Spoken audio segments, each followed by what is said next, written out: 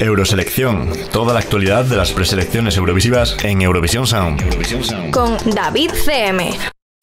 Hola, soy David CM y durante este periodo hasta el Festival de Eurovisión 2021 te voy a acompañar repasando toda la actualidad de las selecciones nacionales realizadas por los 41 países en competición, repasando novedades, confirmados y mucho más.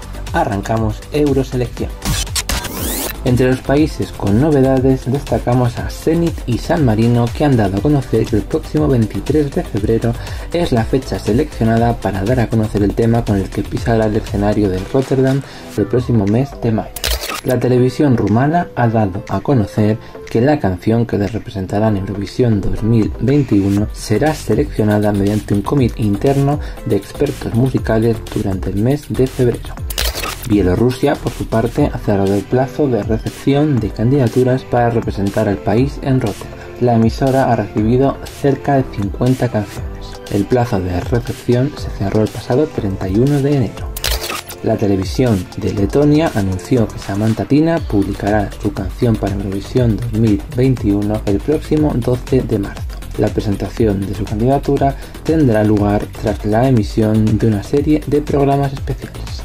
En cuanto a España, destacamos que RTVE ha anunciado que el director austriaco Martin Dittmann será el encargado de coordinar y diseñar la puesta en escena de la canción española para Eurovisión 2021.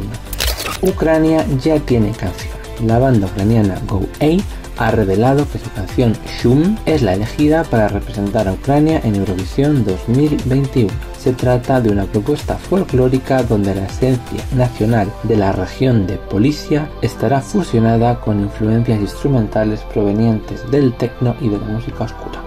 La televisión pública croata ha publicado un avance de 60 segundos de cada una de las canciones que participarán la semana que viene en la final del Dora 2021. Entre ellos destacan los retornos de Nina Kralik y Bernard. El tema My Lonely Boys ha logrado convencer al público dándole el pase al cantante Kim para la gran final del concurso Melody Grand Prix que concurrirá el próximo 20 de febrero.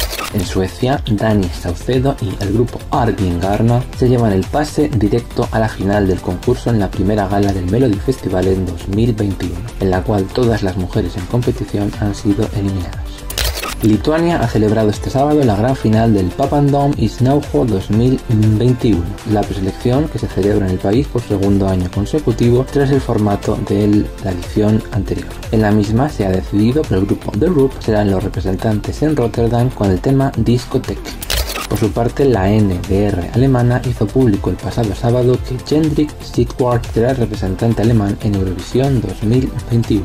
El joven cantante interpretará un tema a ritmo de ukelele en la gran final del certamen europeo. Y hasta aquí nuestra sección de hoy. Volveremos muy pronto con toda la actualidad eurovisiva del año 2021 cerramos hoy con una de las propuestas lituanas que consiguió llegar a la final de su preselección, Gebrasi y su Where You Wanna Go. Hasta pronto. Euroselección. Con David CM.